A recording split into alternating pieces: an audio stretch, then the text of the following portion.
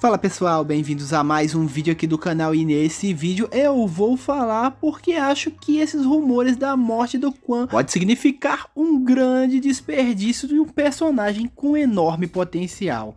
Se você quer saber mais sobre isso, fique comigo até o final. Agora, sem mais delongas, bora pro vídeo. Tem uma coisa que eu aprendi a não gostar foi de spoilers, por isso não tenho falado muito a respeito desses vazamentos que têm saído aos montes. Mas lendo comentários, assistindo vídeos vídeos de outros canais não tem como não saber. Desde que surgiram os rumores da possível morte do Quan, eu pensei não pode ser possível porque esse é um personagem com enorme potencial e aquele Rei Cobra que nós estávamos pedindo desde Rob King na quarta temporada. Não é segredo para ninguém que eu fiquei muito insatisfeito com a formação do Cobra Kai na quinta temporada e com o Kenny como Rei Cobra. Tudo bem que o personagem tem um enorme potencial para ser desenvolvido, no entanto sabemos que o Kenny não estava à altura dos melhores lutadores do Miyagi-Do, que são Rob King, Miguel Dias e Falcão. Muitos vão dizer, mas o Kenny venceu o Falcão na quinta temporada, mas sabemos que o Falcão é um lutador lutador muito melhor do que o Ken. Mesmo que o Silver aponte que o Kenny tem potencial para superar qualquer lutador do Miyagi-Do. Fiz muitos vídeos antes da sexta temporada de Cobra Kai falando que o Cobra Kai da sexta temporada precisava de um Rei Cobra verdadeiramente sem compaixão. Quando foi levantada a hipótese de que os alunos da Sensei Kim poderiam ocupar as vagas do Cobra Kai no torneio Sekai Taikai,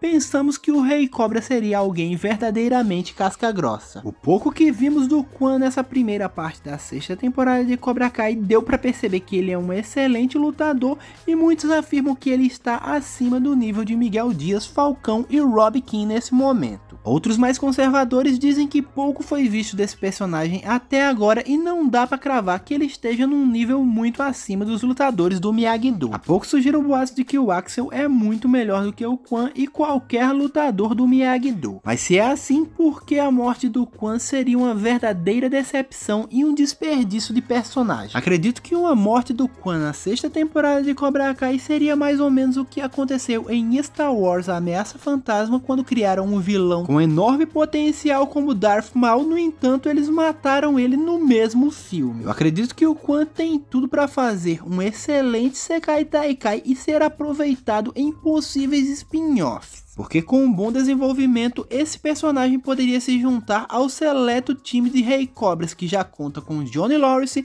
Mike Barnes, Miguel Dias, Falcão e Robbie King. A minha opinião é que uma morte do Quan nessa sexta temporada de Cobra Kai, pelo menos para mim, vai ser muito decepcionante. Mas qual é a sua opinião sobre esse assunto? Já deixa aí nos comentários. Se você gostou desse vídeo, já deixa o like, se inscreve no canal e ativa o sininho para receber todas as nossas notificações, assim você não perde perde nenhum conteúdo novo aqui do canal. Nós vamos ficando por aqui, fique com Deus, um grande abraço e até o próximo vídeo se Deus permitir.